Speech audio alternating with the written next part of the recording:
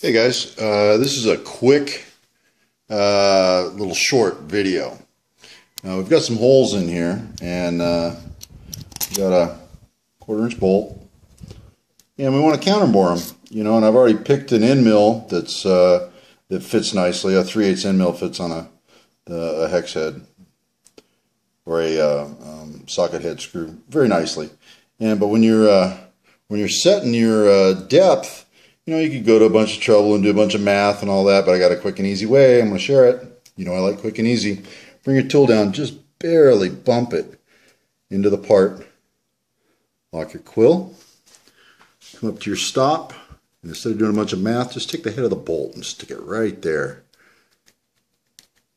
And just give it a little bit of extra.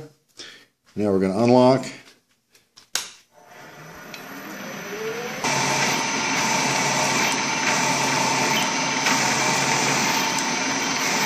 And we're just going to hit our stop.